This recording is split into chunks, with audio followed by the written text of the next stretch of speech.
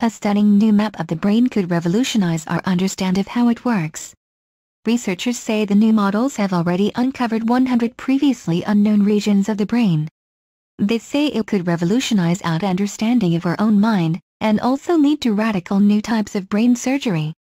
For years, doctors have had reliable charts of the body and its organs, blood circulation, digestive system, nerves and the like, but always with one frustrating gray zone, the brain. Now a team of neuroscientists, computer specialists and engineers said they had compiled what could be the most accurate map yet of the mysterious expanse between our ears. In the process, they discovered nearly 100 previously unreported regions of the organ's wrinkly outer layer, called the cerebral cortex or gray matter. These new insights and tools should help to explain how our cortex evolved and the roles of its specialized areas in health and disease, said Bruce Cuthbert of the U.S.-based National Institutes of Health, which co-funded the research, published in the journal Nature. One day, it may enable unprecedented precision in brain surgery, he added. Researchers have now mapped 180 distinct areas in our brain's outer mantle, or cortex, more than twice the number previously known. They have also developed software that automatically detects the fingerprint of each of these areas in an individual's brain scans. Funded by the National Institutes of Health through its Human Connectome project, this software correctly mapped the areas by incorporating data from multiple non-invasive brain imaging measures that corroborated each other. The new study identified, with a nearly 97% detection rate, 97 new cortex areas per hemisphere, in addition to confirming 83 that were previously known.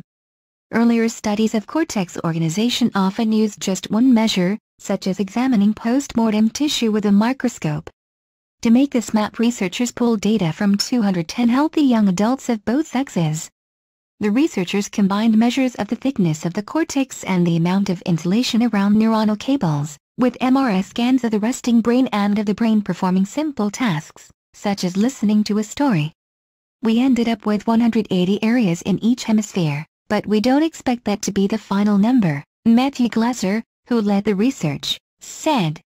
In some cases, we identified a patch of cortex that probably could be subdivided, but we couldn't confidently draw borders with our current data and techniques.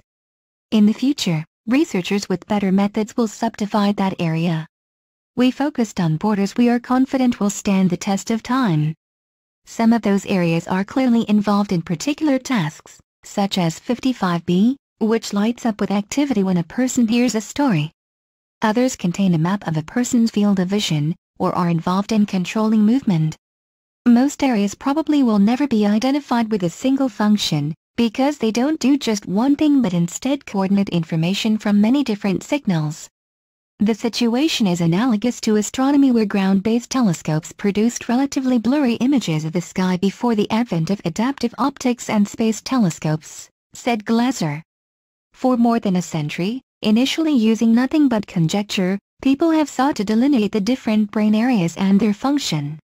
In the 1800s, so-called phrenologists divided the organ into sections controlling certain senses and character traits.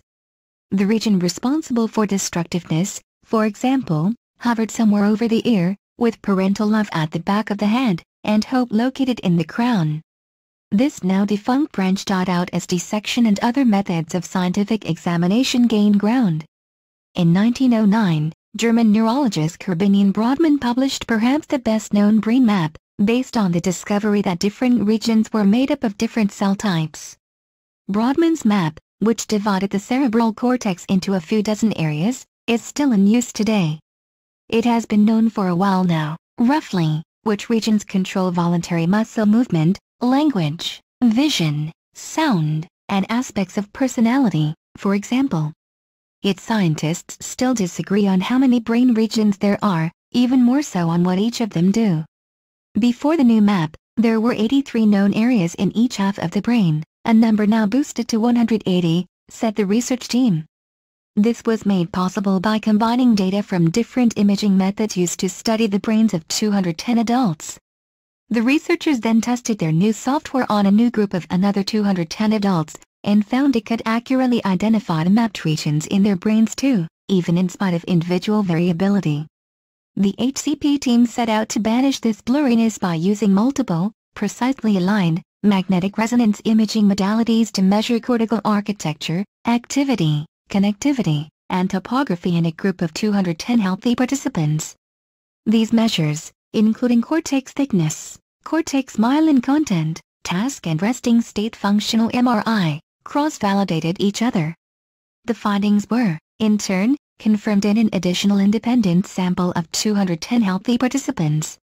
Even though some cortex areas turned out to be typically located in a small minority of subjects, the data-derived algorithms incorporated into the software were able to successfully map them. The ability to discriminate individual differences in the location, size, and topology of cortical areas from differences in their activity or connectivity should facilitate understanding of how each property is related to behavior and genetic underpinnings, added Glasser.